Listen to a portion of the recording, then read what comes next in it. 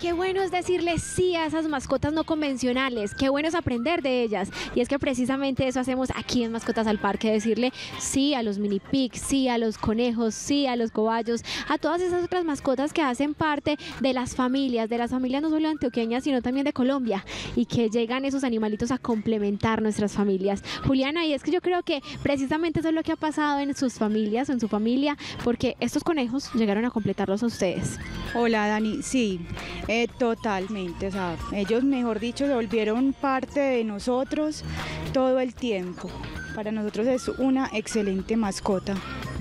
¿Cómo ha sido compartir la vida con una mascota, más bien con Cenizo el conejo? ¿Y cómo se llama el que tiene Manuel? Billy, se llama Billy. Bueno, eh, con Cenizo, pues ya estamos, eh, pues hemos compartido dos años y medio con Cenizo y la verdad, eh, súper, súper, súper, porque no pensábamos pues que tener un conejo como mascota iba a ser pues como de, de agrado, ¿cierto? Yo creo que cuando uno decide compartir la vida con un animal no convencional, luego dice y se va encontrando en el camino qué come, dónde lo encuentro, porque conseguir concentrado para los perros o para los gatos o el alimento VARS o las diferentes opciones que encontramos en el mercado es muy fácil, pero para estos animalitos que ahora yo creo que es algo muy nuevo, aunque toda la vida hemos tenido conejos, no nos hemos preguntado realmente cuáles son sus necesidades. De ahí que nace entonces orejitas exóticas y que encontramos infinidad de productos que llegan para hacer que la dieta nutricional sea balanceada, para cumplir como con las garantías o más bien con esas necesidades básicas que tienen, en este caso esta mascota que no es convencional, que no es del común, pero que final, al fin y al cabo es mascota. Sí, eh, cuando empezamos con cenizo, pues como, como muchos hacen también, que solamente pensamos que los conejos eh, solamente puede ser agua y zanahoria. Totalmente falso.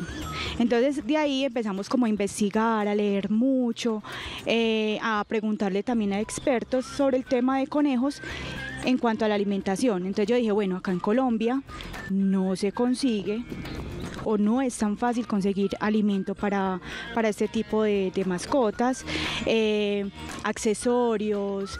Entonces ahí mismo eh, dijimos, no, vamos a hacer algo con con el tema de ellos y creció, pues nació el de Orejitas Exóticas. Yo te voy a contar mi experiencia personal y yo creo que tengo que contarla porque como antioqueños, a muchos que yo soy de Puebla, soy de Fredonia y a muchos nos pasó.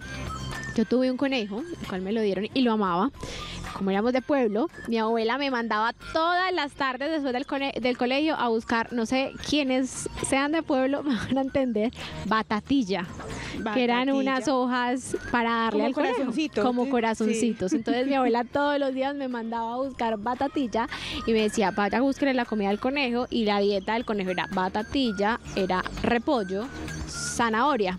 ¿Qué pasa con esa alimentación? Mi conejo era, no era gordo, él era obeso, él era muy gordo porque además nosotros era, no, pobre conejo tiene hambre, dele comida, dele comida, dele comida. Y pues también está la opción del concentrado, del concentrado común que encontrábamos, no sé, en las agropecuarias, en mi caso de Fredonia, quienes vivían en Medellín, en Medellín, pero yo creo que no teníamos esa conciencia de este montón de productos que vemos aquí y veo una diferencia muy grande. ¿Cuánto tiene Cenizo? Cenizo tiene dos años y medio. Dos años. Mi conejo a los seis meses estaba el triple de gordo a cenizo.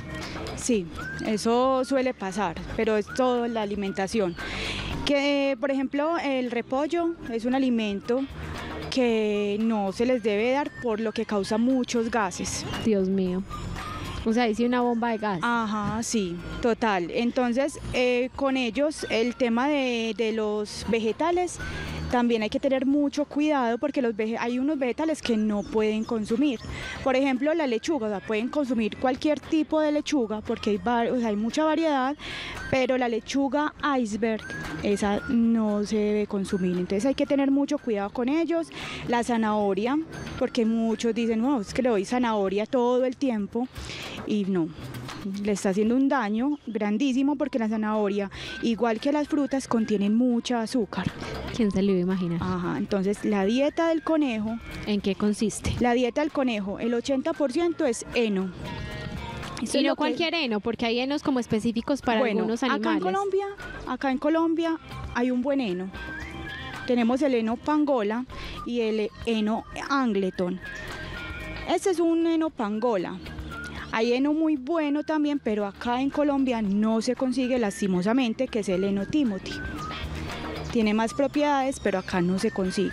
Entonces es muy difícil. Entonces, ¿en qué se pensó también con orejitas exóticas? Bueno, si en Colombia nace un buen heno, ¿por qué no vendemos el buen heno que tenemos nosotros acá en el país? Lo mismo también con los cubitos de alfalfa.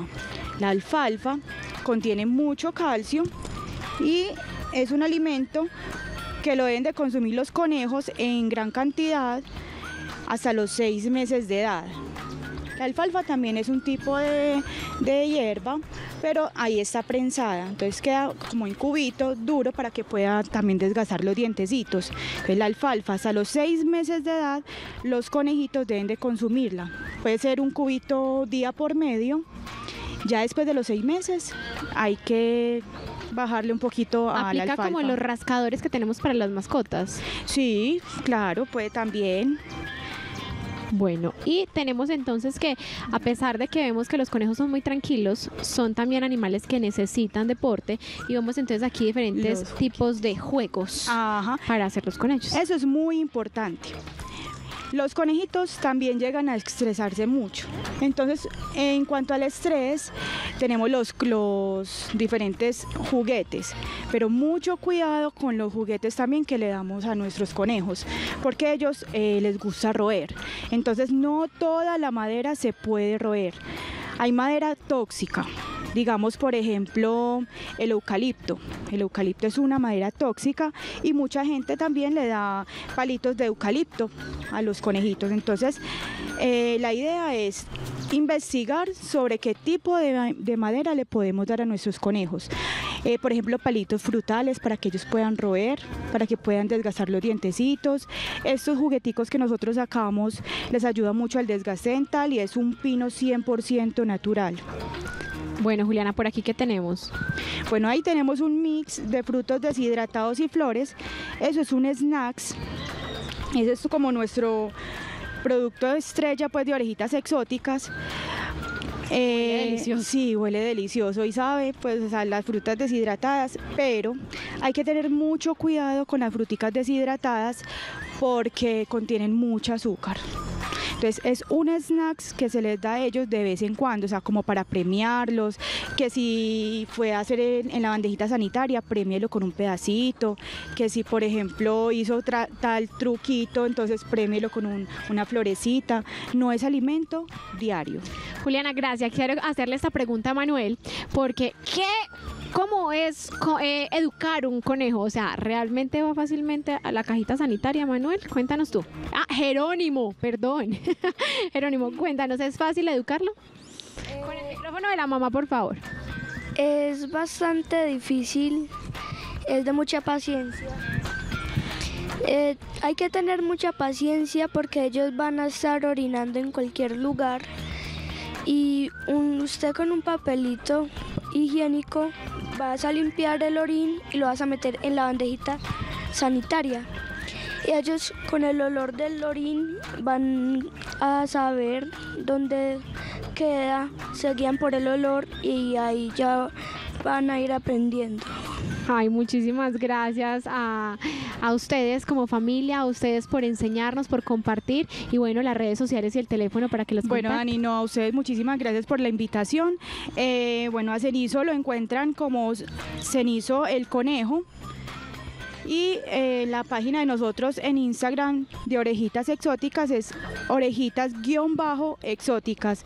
Ahí nos pueden escribir y el teléfono del 318-613-0079. Muchas gracias por acompañarnos. Gracias a usted, Dani.